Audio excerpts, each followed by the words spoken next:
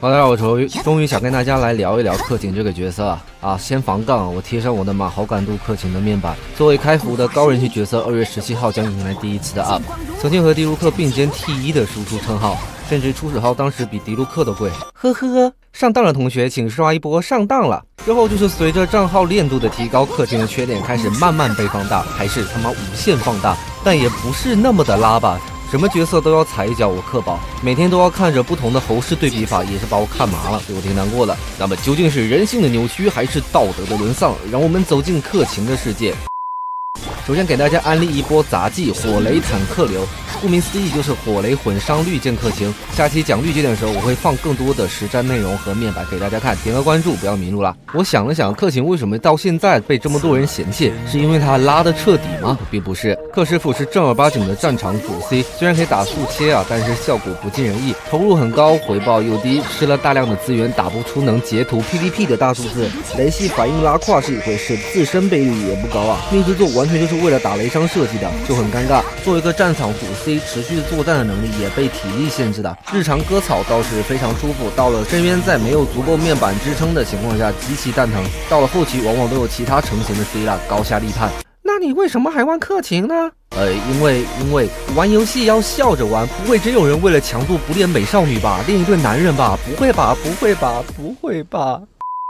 克勤天赋怎么点儿？决定了要玩克勤，就好好对他，好东西都给他安排上。推荐三个天赋均升，资源有限的情况下，八八八就可以了。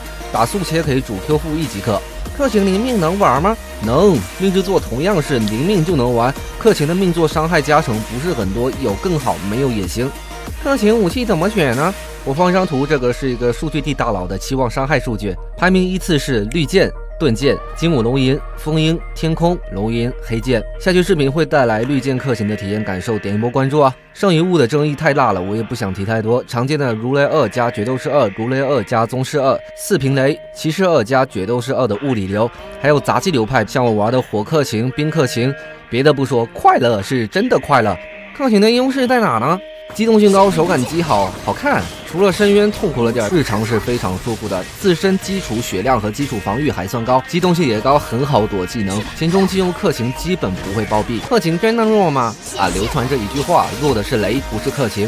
我寻思着，这俩都弱，有冲突吗？雷弱在没有增幅反应，超导服务于物理，超载瞎鸡乱炸，追着怪跑浪费体力，自己还会受到伤害。感电的伤害嘛，真的非常的感人。雷元素这跟孤儿元素也差不多了。然而北斗有一手绝活，伤害可观。黄女作为脱手奥兹发射器，非常省心好用。雷泽和雷没什么关系吧？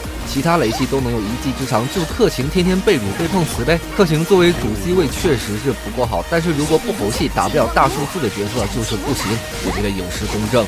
在不打反应的情况下，克勤的伤害绝对称得上五星的强度。可问题是，除了那几个倍率爆炸的，谁不打反应啊？而克勤要打高伤害，就要依赖重击，体力又是一个大问题。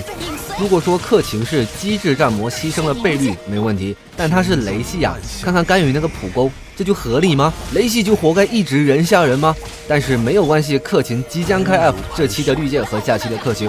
我就不信米哈游真的不想卖池子了。我有预感，我克宝这一波必定加强个屁嘞！